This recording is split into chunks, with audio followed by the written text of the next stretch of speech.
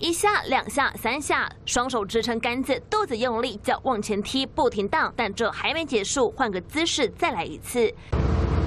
手掌支撑身体往下贴近地面，奇怪，这里并不是健身房啊，怎么有人开始练起身来？不是乘客，而是司机，地点还是在公车上，没人开车吗？乘客吓坏了，司机一次利用停等红灯时间锻炼，传说中的时间管理大师。不过超狂的景象让人看傻，就怕有突发状况来不及应变。对此，客运业者表示观感不佳，已经劝导没系安全带会吃上罚款两千块。再把镜头转到新北，阿姨不要借他啦，他之前就有跟别人借。借过钱看到阿姨掏出钱包准备拿钱给骑士，民众立刻制止，想不到对方一听到油门一催，往前绕跑，还给我骑走是怎样？原来这名借钱哥过去就四处跟人要钱，还一曾向同一位民众借八次，引发热议。双倍炮透透继续骗，每次开口都借五十到一百元不等，但这行为已经触犯诈欺罪，最高处五年以下有期徒刑。另外在台北市七城街。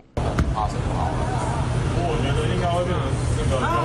黄衣男子怒气冲冲上前和后方的驾驶理论，双方发生激烈争执，结果却被对方撂倒在地，压在地上狂殴。车上另一人看不下去，上前制止，结果对方不罢休，又从后车厢拿出球棒，作势殴打。警方调查，被害人认为被对方逼车，想不到被对方攻击，现在已经验伤提告。记者杨忠胜、杜宇轩新北、台北报道。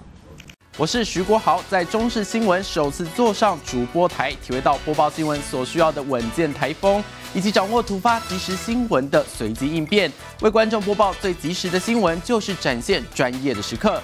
更多新闻，请锁定中视新闻 YouTube 频道，记得按赞、订阅、分享，并开启小铃铛哦。